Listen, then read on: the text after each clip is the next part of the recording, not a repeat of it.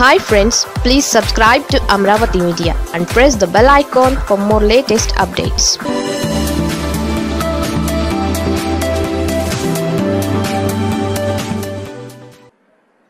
వ్యవస్థల్ని నడపటం వేరు. వ్యవస్థల్ని సృష్టించి ఆ వ్యవస్థల ద్వారా ప్రజలకి మేలు చేయించటం వేరు. అది జగనన్న గొప్పతనం. ఉన్న వ్యవస్థల్ని వాడుకోవటం కాదు.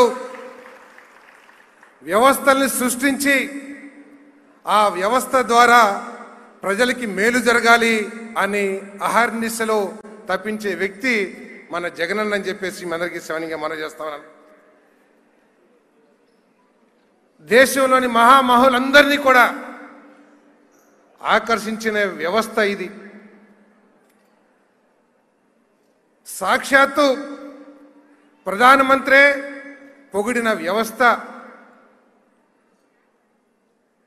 దేశంలోని ఇతర ముఖ్యమంత్రులు కూడా ఈ వ్యవస్థని అనుసరిస్తే బాగుంటుంది అని ప్రధానిచే కీర్తింపబడ్డ వ్యవస్థ ఈ వ్యవస్థ.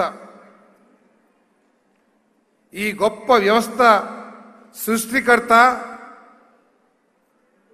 గొప్ప నాయకుడు దార్శనికుడు మన జగనన్న.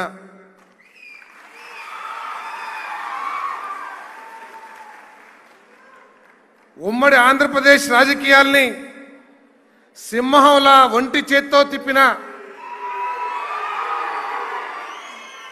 సంక్షేమ రాజ్యం సృష్టికర్త వైఎస్ రాజశేఖర రెడ్డి గారి తనయుడు. చంద్రబాబు లాంటి పిరికి పందలు డ్రామా ఆర్టిస్టులు ఎంత మరుగుతున్నా పట్టించుకోకుండా ఒక ఋషిలా ఒక మహర్షిలా ఈ రాష్ట్రాన్ని బంగారు భవిష్యత్తు వైపు నడిపిస్తున్న గొప్ప నాయకుడు.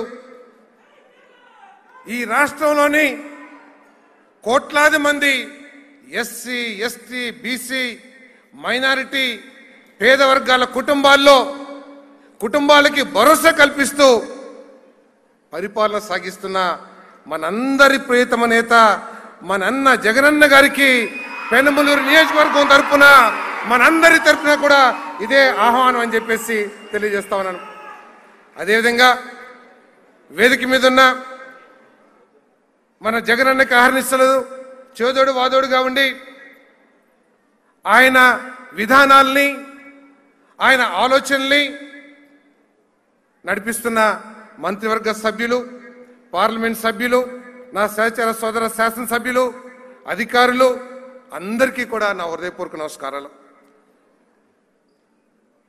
రెండోసారి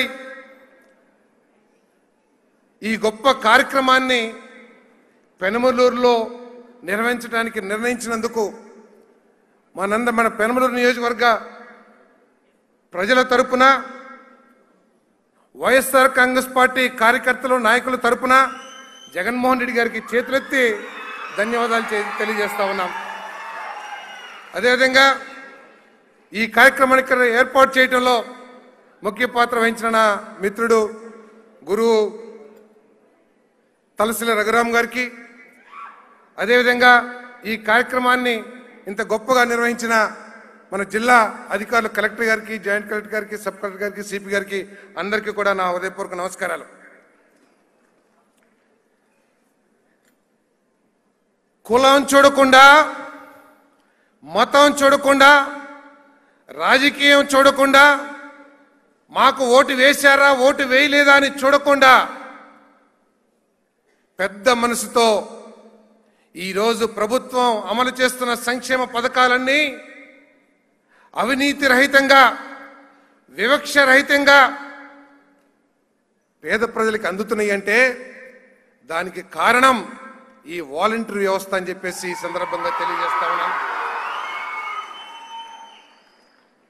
ఈ వాలంటీర్ వ్యవస్థ ఇంత గొప్ప కార్యక్రమం చేయటానికి అదేవిధంగా వైఎస్ఆర్ కాంగ్రెస్ పార్టీ కార్యకర్తలు అందరూ కూడా ఈ గొప్ప కార్యక్రమాల్ని భుజాన్ని వేసుకుని ప్రజల్లోకి తీసుకెళ్ళడానికి కారణం మన జగనన్న కమిట్మెంట్.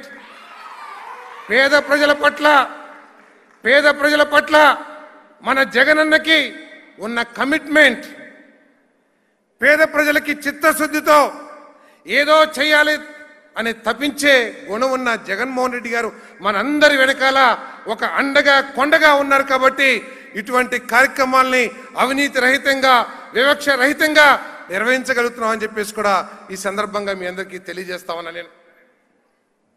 ఈరోజు దేశం అంతా చూస్తా ఉంది. దేశంలో తలపండిన రాజకీయ నాయకులందరూ కూడా చూస్తా ఉన్నారు.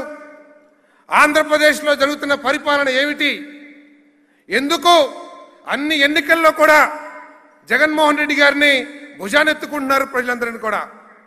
దానికి కారణం గాంధీజీ కలలు కన్నా గ్రామ స్వరాజ్యాన్ని స్థాపించే దిశలో ఈరోజు గ్రామాలని పేద ప్రజల కోసం ఈ ప్రభుత్వం తప్పించిపోతుందని చెప్పేసి కూడా మీ అందరికీ సెవెనింగ్గా మనం చేస్తా ఉన్నా నేను.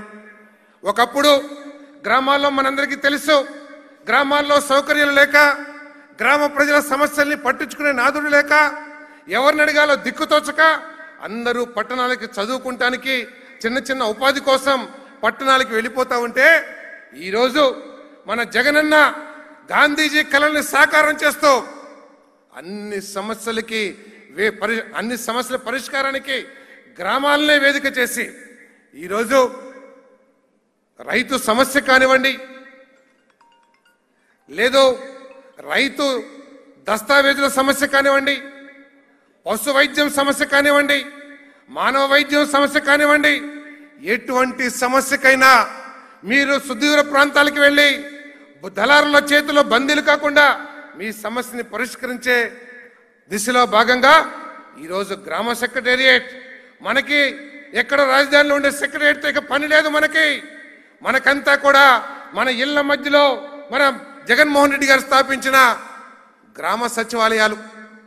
రైతులు ఇంతకుముందు పండించిన ధాన్యాన్ని ఎక్కడ అమ్ముకోవాలో ఏ దళారిని సంప్రదించాలో మనం కొనే పురుగు మందులు నాణ్యమైనవో కాదో తెలియక వేలు పెట్టి ఖర్చు పెట్టి కొన్న పురుగు మందులు పనిచేయక పంట దిగుబడి పూర్తిగా నాశనం అయిపోతే ఆత్మహత్యలు చేసుకుంటున్న పరిస్థితులుంటే ఈరోజు అటువంటి మందులన్నిటి కూడా నాణ్యత పరీక్షా కేంద్రాలు మన ఇళ్ళ మధ్యలో రైతు భరోసా కేంద్రాలు ఏర్పాటు చేసి మన ఎరువుల కోసం మన వ్యవసాయ అవసరాల కోసం ఎక్కడికో వెళ్ళకోకుండా ఇక్కడే ఇక్కడే మన ఇళ్ళ మధ్యనే ఎరువులు దొరుకుతున్నాయి. మనం పండించిన పంటను అమ్ముకునే అవకాశం కల్పించారు అటువంటి రైతు భరోసాలు. ఇంతకుముందు నాకు బాగా తెలుసు ఒక శాసనసభ్యుడిగా ఆఖరికి మంత్రిగా కూడా. నా నియోజకవర్గంలో ఒక పిఎస్సి సెంటర్ ఏర్పాటు చేయాలంటే నేను మంత్రిగా పదిసార్లు వైద్య శాఖ అధికారుల చుట్టూతా తిరిగిన వైద్య శాఖ మంత్రిగా మంత్రి గారి చుట్టూతా తిరిగిన ముఖ్యమంత్రి గారికి ఆదరణ సమర్పించుకున్నా కూడా ఐదు సంవత్సరాల్లో ఒకటో రెండో పిహెచ్సీలు ఏర్పాటు చేయగలిగాను. చిన్న వగిరాల్లో అది కూడా మరి ఉప్పులూరులో అని చెప్పేసి మనం చేస్తున్నాను. ఈరోజు మన గ్రామ గ్రామాన మన అవసరం కోసం మన వైద్య అవసరాల కోసం ఎక్కడికో కంకిపోడో ఉయ్యూరో లేకపోతే మన కొండపల్లో మన నియోజకవర్గ సెంటర్స్కి వెళ్ళే అవకాశం లేకోకుండా మన మధ్య ఇరవై నాలుగు గంటలు కూడా వైద్య అవసరాలు తీర్చే నర్సులు ఏర్పాటు చేసి వెల్నెస్ సెంటర్లు ఏర్పాటు. ఎందుకంటే మనకి అభివృద్ధి ఏమి కావాలో ఒకసారి ఆలోచించమని చెప్పేసి మీ అందరికీ మనం చేస్తామని ఈరోజు ఇంత గొప్ప కార్యక్రమాలు చేస్తా ఉంటే చంద్రబాబు నాయుడు గారు చెప్తా ఉన్నారు నా రికార్డు నా రికార్డు ఎవరు తుంచలేరు అని చెప్పేసి చెప్తా ఉన్నారు. నాకు తెలిసి మన రికార్డును మనం చెప్పుకోవండి. మన రికార్డును ప్రజలు చెప్పాలి. మన రికార్డును ప్రజలు మెచ్చాలి. కానీ ఆయన ఏదో పద్నాలుగు సంవత్సరాలు నేనే ఉన్నాను నా రికార్డుని ఎవరు తుంచలేరంటున్నారు చంద్రబాబు ఈ ఇరవై నెలల పాలన ఇది కేవలం ప్రారంభం మాత్రమే. భగవంతుడు నిన్ను ఒక మూలన కూర్చోపెట్టి నీకు ఆయుష్ ఇస్తే జగన్మోహన్ రెడ్డి గారు ఎన్ని సంవత్సరాలు పరిపాలన చేస్తాడో ఒక్కసారి ఆలోచించమని చెప్పేసి భగవంతుని కోరుకుంటా ఉన్నా నేను. అంతేకాదు ఆ భగవంతుడు నువ్వు చేసిన పాపాలు నువ్వు ఈ రాష్ట్రంలోని పేద ప్రజలకి చేసిన అన్యాయాలు నువ్వు ఈ రాష్ట్ర వనరుల్ని పెత్తందారులకి పెట్టుబడిదారులకి దోచిపెట్టిన విధానానికి సిగ్గుపడే విధంగా భగవంతుడు నీకు బుద్ధి కూడా కలిగించాలని చెప్పేసి కోరుకుంటా ఉన్నాను. అంతేకాకుండా ఈరోజు ఎంత నీచంగా ఎంత నీచానికి దిగజారాడంటే చంద్రబాబు నాయుడు గారు ఒక గొప్ప సదాశయంతో ఒక మహత్వరమైన కార్యక్రమాన్ని అమ్మఒడి కార్యక్రమాన్ని మన జగనన్న తీసుకుంటే మన పేద ప్రజల పేద ప్రజల పిల్లలు ఎవరు కూడా ఆర్థిక పరిస్థితుల మూలంగా గొడ్ల కాచుకుంటానికి పాలేరుతనం చేయటానికి ఇళ్ళలో పని చేయటానికి కర్మాగారాల్లో పని చేయటానికి వెళ్ళకూడదు. వాళ్ళ ఆర్థిక పరిస్థితి పిల్లల చదువులకు ఎటువంటి అడ్డంకి కాకూడదని చెప్పేసి ఒక గొప్ప కార్యక్రమాన్ని సదుద్దేశంతో మా అమ్మ ఒడి తీసుకుంటే ఈ దౌర్భాగ్యుడు అంటాడు అమ్మ ఒడి నాన్న బుడ్డి అంటాడు ఈయనకెంత అసలు బుద్ధి ఉందా వయసు వచ్చినా కానీ అని చెప్పేసి నేను అడుగుతా ఉన్నా నేను. అమ్మఒడికి నాన్న బుడ్డికి సంబంధం ఏంటండి? బహుశా నీకు కావాలంటే వచ్చే ఎన్నికల్లో చెప్పుకో. నాన్న బుడ్డి మేము తీసుకొస్తాము ఇంటింటికి బుడ్డిని సప్లై చేస్తాము మాకు ఓటేయండి అని చెప్పేసి నీకు సిగ్గుంటే అడుక్కో అంతేకాని ఇటువంటి గొప్ప కార్యక్రమాన్ని దేవతల్ని రాక్షసుల్ని ఒకటే గట కట్టే దౌర్భాగ్య పరిస్థితి నుంచి ఈ చంద్రబాబు నాయుడికి బుద్ధి కలిగించాలని చెప్పేసి ఈ సందర్భంగా నేను దేవుణ్ణి కోరుకుంటూ మరి మన జగనన్న చేసే కార్యక్రమాలు కేవలం ఐదు వందంతస్తుల భవనాలు లేతే ప- వంద అడుగుల రోడ్లు అవే కాదు మనకు కావాల్సింది. మన గ్రామాల్లోకి వెళ్ళండి ఈరోజు. ఎల్లంగానే కనపడుతున్న నాడు నేడులో అభివృద్ధి పరిచిన పాఠశాలలు ఆ పాఠశాలలోకి వెళ్తే దాంట్లో ఏర్పాటు చేసిన వసతులు కార్పొరేట్ విద్యకి ధీటుగా పోటీగా మన పాఠశాలను ఏర్పాటు చేసి మన పిల్లలకి ఇంగ్లీష్ విద్యని అందుబాటులో తీసుకొచ్చి అది అభివృద్ధి అని చెప్పేసి మనం చేస్తాను ఇంకొంచెం ముందుకెళ్ళండి. బ్రహ్మాండమైన రైతులకు అన్ని కూడా అన్ని సమస్యల పరిష్కారం కలిగించే రైతు భరోసా కేంద్రాలు. ఇన్ని అభివృద్ధి కార్యక్రమాలు ఇన్ని సంక్షేమ కార్యక్రమాలు చేస్తూ ఉంటే నేను ఈ మధ్య ఒక ఇతర రాష్ట్రాల నుంచి వచ్చిన వర్కర్స్ అందరూ కూడా కలిస్తే ఒకసారి విన్నాను. వాళ్ళు అంటున్నారు సాహెబ్ ఆప్కా రాష్ట్రమే ఆప్కా ముఖ్యమంత్రి బహుత్ కుచ్ దేరా హై ఆప్కే అని చెప్పేసి దేశంలోని అందరూ కూడా ఈ రాష్ట్రంలో పేదవాళ్ళకి స్వర్గాన్ని సృష్టిస్తున్నాడు జగన్మోహన్ రెడ్డి అనే ఆలోచనలో ఉన్నాడు. నాకు కొంత అనుమానం కూడా ఉంది.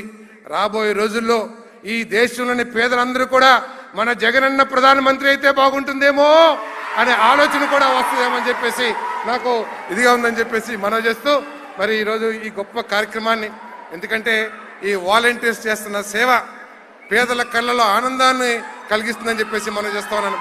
పొద్దున్నే ఉదయాన్నే కాఫీ కూడా తాక్కోకుండా ఇళ్ళలోకి వెళ్ళి తాత అవ్వలకి మీరు పెన్షన్ ఇస్తా ఉంటే వాళ్ళ మనసులో ఉన్న ఆనందాన్ని మేము వెళ్ళి గ్రామాలకు వెళ్ళినప్పుడు కూడా చెప్తూ ఉన్నారు. మీరు నిష్పక్ష నిష్పక్షపాతంగా మీరు చేస్తున్న కార్యక్రమాల్ని భగవంతుడు ఆశీర్వదించాలని మన జగన్ ఆశీర్వదించాలని చెప్పేసి